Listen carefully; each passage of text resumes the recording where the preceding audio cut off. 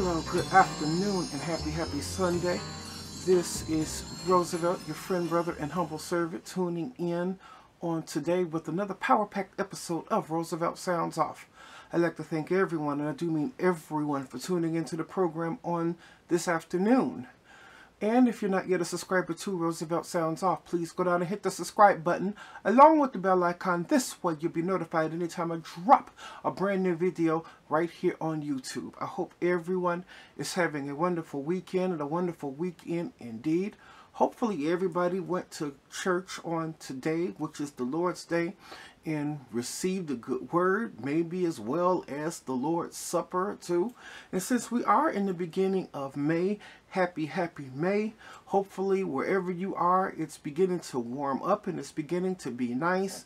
I think that we're having a very nice weekend in Chicago after having a few weeks of cold weather. But I think that we are finally having nice weather. And yes, ladies and gentlemen, boys and girls, the sun is beginning to shine. Looking forward to spring and looking forward mostly to summer. And most of all, happy Sunday. Okay, I'm um, not going to waste too much time with pleasantries and everything. Um, but I need to get into a little bit of news. I need to report on something that many of you all probably don't even know about. Because the lamestream media is doing everything that it can to keep this particular story out of the headlines. On this past Monday, there was a gentleman in New York who was homeless, who was suffering with mental issues, who was 30 years old, who was strangled to death on a New York City subway by a so-called alleged 24-year-old Marine veteran. Now I'm going to play for you some news clips. Um, the first clip I'm going to play is um, of the first um, thing that came out, maybe a little bit or a slight clip of the particular video because this attack on the train was caught on someone's cell phone video. And this is where outrage has risen throughout New York City when people did see the cell phone video. Because at first, if you listen to this first clip, neither person or neither gentleman has this a name yet. So I'm going to play for you this clip and I'm going to come right back and tell you exactly what I think. Please stay tuned for this clip. Another story we're following tonight is out of New York City. and involves a failed chokehold on a subway car. A witness says a man was acting erratically and threatening other riders when someone who was also in that car stepped in and restrained the man, putting the alleged attacker in a chokehold to restrain him even more. And eventually the man died after being taken to the hospital. So was this a case of someone protecting others, maybe even saving lives, or an out-of-control vigilante who caused a homicide? Valerie Castro has the latest, and we want to warn you, the video is disturbing. Tonight, a deadly chokehold on the subway in New York. Where are the cops? Igniting a debate about when citizens should step into a volatile situation. A witness telling WNBC the 30-year-old man on the floor was acting desperate and aggressive, making people feel threatened before the incident. That's when a 24-year-old man stepped in and put him in this hold for minutes left unconscious, which is how police found him before taking him to a local hospital where he was pronounced dead, according to the NYPD. There is no known video from before the incident, but the northbound F train in Manhattan was filled with strap hangers Monday afternoon, according to Alberto Vasquez, who recorded the video. He says he noticed the 30-year-old board the train. The man got on the subway car and began to say a somewhat aggressive speech, saying that he was hungry, he was thirsty, and that he didn't care about anything. He didn't care about going to jail. He didn't care if he gets a big life sentence, that it didn't even matter if he died. Vasquez says the rider's actions worried, even scared him, wondering if the man could be armed. He believes others around him were also in fear.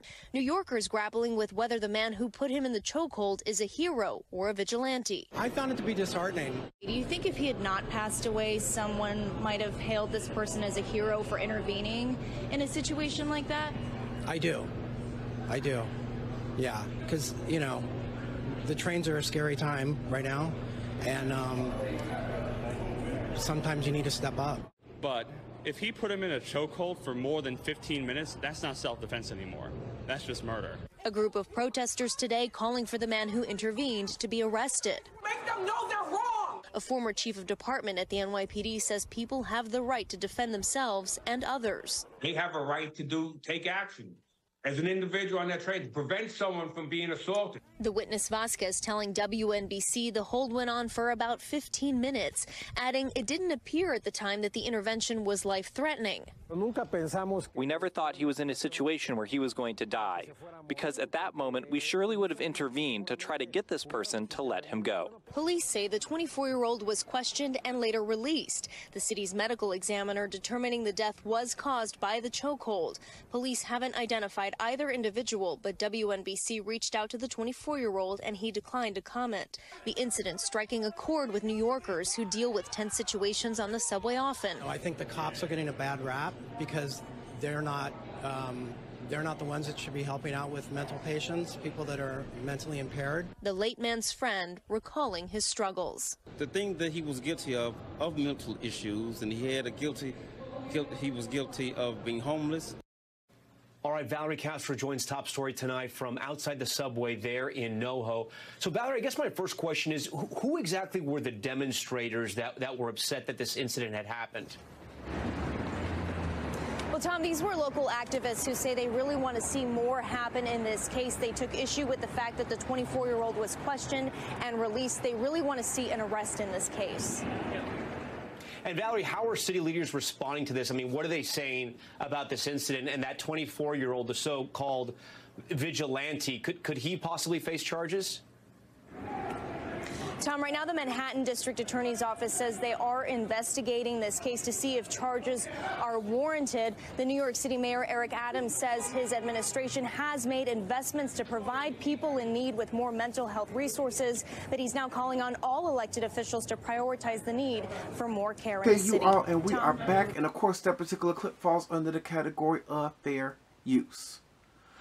Now, it seems like that they are trying to do everything that they can to villainize this man. Because at first in this first clip you see that he didn't have a name.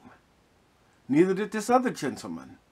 But later on when more became much more known about it he really did have a name. And his name is Jordan Neely. He was a 30 year old homeless man who also did Michael Jackson impressions trying to entertain the um, citizens of New York whenever they took the train.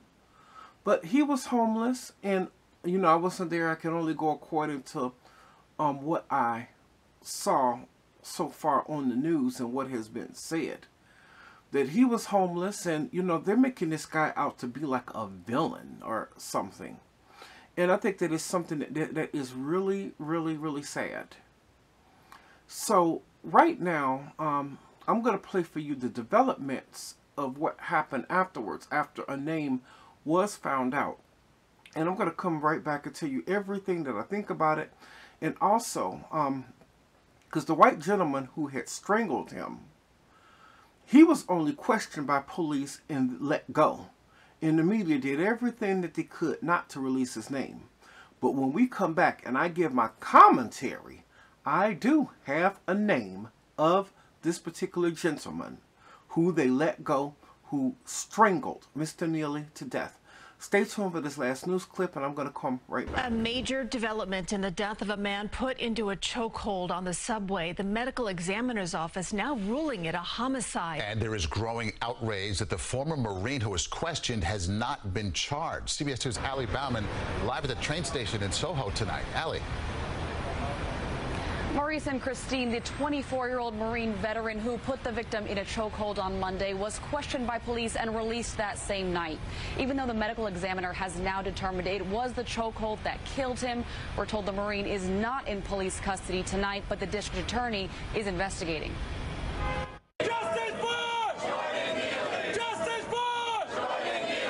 Group gathered in anger Wednesday inside the East Houston and Lafayette subway station where 30-year-old Jordan Neely was choked to death on the subway two days prior. Our life was essentially taken away. Someone who's uh, homeless, struggling with mental health. One witness said Neely had been panhandling and shouting on the train, but the witness said it did not appear this man, who seemed to be suffering from some kind of mental disturbance, was seeking to assault anyone. The 24-year-old Marine can be seen holding Neely in a chokehold for nearly three minutes while two other passengers helped to restrain his arms. All three of those people who held him should be arrested. A proper in, uh, investigation should be conducted. The man who choked him to death should be charged with murder. According to the Marine Corps, the man who sources say put Neely in a chokehold is a decorated veteran Marine sergeant who separated from service two years ago. Neely was a subway busker and Michael Jackson impersonator with more than 40 prior arrests and an active warrant out for his arrest from a felony assault.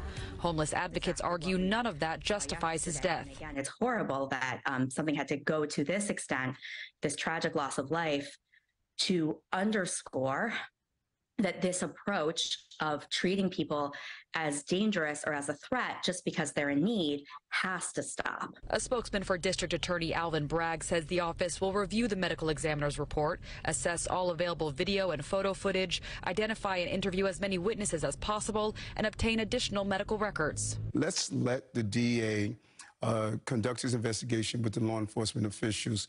Uh, to really interfere with that is not the right thing to do.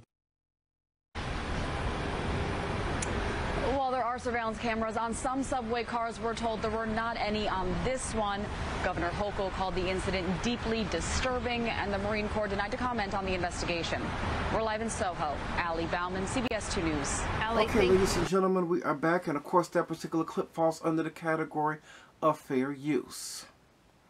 Now, I think that it was a dirty thing for this man to strangle Mr. Neely to death because Mr. Neely was suffering with mental issues. I think the reason why you have a whole lot of things that do go on within this country, whether it be people acting erratic, whether it be mass shootings, and we have seen an increase of mass shootings in the last few years or so. And I know a whole lot of people don't want me to say this, but I'm going to say it. I believe that we are seeing much more mental issues in out of people because of the pandemic. Because while everyone was trying to solve the problem of the virus, no one was thinking about the aftermath of what it could do to people mentally. And I think that lockdowns and all of this other stuff and people who have lost their jobs and everything, I think it did something to people's minds. So this is how come you have more mass shootings. And you also have more people who are homeless, people who've lost jobs because we have suffered economically due to this pandemic. And I don't know Mr. Neely's whole story, but I feel that this is the whole story for a whole lot of people. I mean, even myself, I can even put myself in that category. I feel that ever since 2020, yeah, yours truly, Roosevelt, your friend and brother, has been a little bit much more, um, should we say, depressed ever since then for the last three years. And I cannot say that I have had, I don't think I've had a good sleep in like three years. Because sometimes I'll sleep a couple of hours and then I'll just wake up. I've never just slept a whole, just like straight, you know, seven, eight hours at night like I'm supposed to. Seem like I feel sleepy much more during the day. And don't feel like doing anything, but, you know, I have been trying to lean towards certain things and trying to make myself better. Like working out three days a week because I feel that fitness and trying to keep our bodies fit and bodies strong, this is something that could help us even with our mental health because working out and exercising is a way to relieve stress.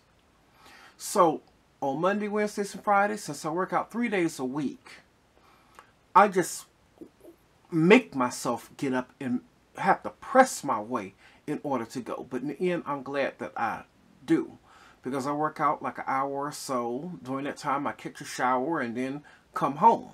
So I'm glad that I was able to get out and exercise because it is a stress reliever and something that works well with your mental health. But some people out there are not that lucky. Mr. Neely was homeless on the train and allegedly, I'm only going off of certain things that I have heard so far, the main reason why he was making a fuss on the train because they said that he was acting erratic and all this other stuff is because he was trying to say that he was hungry. The man was hungry and thirsty. Food and shelter and clothes Those are basic needs. This man was hungry. And for this man to come up and strangle him from behind, it's just a shame and atrocious. He was done the same way as Eric Garner and George Floyd. And right now, I'm not going to just say this man anymore because a whole lot of people are trying to paint this idiot out like he's some kind of hero. But in my mind, he's not. In the way that the police have been treating him with kid gloves, all because he's white and a Marine veteran. Now, I bet you if it was me, no matter what the reason was, who went to go strangle a white person like that, she wouldn't have had my behind in jail. And people would know my name. But no, first they, the media didn't want to put out his name and everything. But, and, and, and this is no credit to me. This is something I found out through somebody who I'm subscribed to on YouTube. Super shout out to Jason Black who is the commentator and the creator of the Black Authority, or the TBA, which comes on and airs every single Saturday and Sunday. If you all haven't checked Jason Black out, that's something you need to do. I was listening to Jason Black on this past evening because for all y'all who don't know that I am recording this on a very late Saturday night. I was able to find out the name of this idiot and this monster who strangled Mr. Neely to death. And his name is Daniel Penny. That's right. Daniel Penny. But you also had two or three other idiots who decided to hold Mr. Neely down while Mr. Penny strangled him to death. As far as I'm concerned, all of them, each and every single last one of them, needs to be bought in and needs to go to jail. And the mainstream media is trying so hard to keep this particular story out of the news. I only found out about what was going on with this around Thursday. And then I have to do, whenever I want to talk about something here on Roosevelt Sounds Off, I do go and do my own investigation. But this is not being widely spoken of. This is not being widely talked about. Pretty much they are doing Mr. Penny like they tried to do George Zimmerman. Because remember when George Zimmerman murdered Trayvon Martin, they tried to keep his name out of the news, tried to keep him hid, and the police and authorities tried to protect him from consequences. This is what the police are trying to do with Mr. Penny. The same exact thing that they did with Carolyn Bryant. You remember the woman who I talked about about a week or two ago because finally, you know, the devil finally got her soul and drop kicked her behind the hell after lying on Emmett Till and causing him to be lynched. The white media knew where she was living. The white media knew about her whereabouts, but they weren't sharing it with anyone. So basically, what all of this is, is nothing but a pure case of white empowerment and white supremacy rearing its ugly head. People talk about all the time that the system is broken. We need to fix the system because the system is run amok. The system is a shame. No, ladies and gentlemen, I'm afraid to disappoint you. The, the system is running exactly the way that they want it to run. How it's one set of rules for black people, but yet it's a whole nother set of rules for them. Me, myself, as a black person in America, I would not get the chance or the opportunity to strangle a white man or white woman to death. Even if it was in defense of my life, I would be in jail. Look at the cases of Trayvon Martin and George Zimmerman, where George Zimmerman was able to get off because he invoked something called the stand your ground law because he decided to lie and claim he was fearing for his life. And there was another, a black woman in the same state of Florida named Marissa Alexander who was having an argument with her husband. And she didn't even shoot her husband. Only thing Marissa Alexander did was take her gun and fire it into the ceiling. Just to scare her, her husband. She ended up getting arrested and getting 20 years.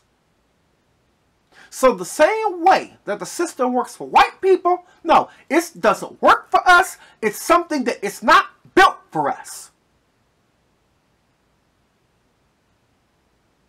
This is a white, evil, supremacist system, the United States of America. And it doesn't even matter what president that we have. Many people talk about Trump, but a whole lot of people don't want to deal with the white supremacy of Biden. How Biden was mentored by Klansmen, by mentored by some of the same people who, like uh, Daniel Penny, who caused this kind of atrocious and basically lynched and murdered Mr. Neely. No one wants to talk about this. And Mr. Neely was saying that he was hungry. In this country, it seems to me that we care more about the rights of, you know, trying to keep abortion legal and talking about the LGBT. And most of all, what's getting under my skin these days is the rights to help immigrants so that they can live, so that they can have food, but the same country that's trying to reach out to immigrants is not helping the citizens of the United States of America like Mr. Neely. It's no way that anywhere in this country, which is supposed to be the richest and most prosperous country in the entire world, should someone have to walk around and be homeless and say that they're hungry and need food to eat? There's no way in the richest country of the world. Now, I can understand it if you was one of, from one of the third world countries or something, you know, one of the countries that is poor. Maybe if you lived in Afghanistan or maybe if you lived in Myanmar or certain places in Thailand or certain places in Africa or South America or Central America or the West Indies, oh yes, maybe then I might be able to halfway be with you because you would halfway have an argument.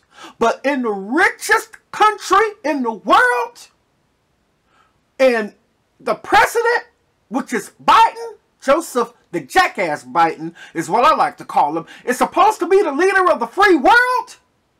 How can you say that you're the leader of the free world. And how can we claim to be the greatest country on earth when our citizens, our own citizens, have to sleep on the street and are hungry, in need of food, in need of shelter, in need of clothing? This should not be in the richest nation in the world. So, Mr. Neely was not only a victim of Mr. Penny, he was also the victim of the broken down American economic system. He was living in New York, one of the most expensive places to live just about on the face of this earth. Anytime you can go into certain areas of New York and you're paying eight or nine thousand dollars a month for rent. Affordable housing is the problem in places like New York, Chicago, LA, Miami, what have you. In this country, we want freedom. We want to be able to eat. We want to be able to live in a place that is fit for the shelter of a human being without paying a whole lot of money to do it. But affordable housing is the problem. And plus, the country is not addressing mental health issues. During the pandemic, when people were depressed, suicide went up, child abuse went up, spousal abuse went up. But only thing that they were trying to do is just address the problem of the pandemic. But all the other stuff that came along with it, no one was willing to talk about that. It's a shame. So right now, even though people know who this man is, Mr. Penny still has not been arrested or anything. And like I said, all three, not only Mr. Penny, the two people that held him down also need to go to jail. Mr. Penny put him in a Marine-style chokehold from the back and held him down for 15 minutes. Count it. Even though he was trying to beg for his life, Mr. Neely was. He did not let him go. And they called the ambulance. They took him to the hospital and he was pronounced dead. And now the state's attorney has ruled this death as a homicide. So I am hoping that they do something with this case and that justice needs to be brought to bear. So for right now, I believe that's all that I have. And you know me, if I hear anything or any kind of updates in this case, I will let you all know. But for right now, that's where I believe I'm going to leave it. So if anybody liked this video, please do me a big favor. Give me a thumbs up. I greatly appreciate it.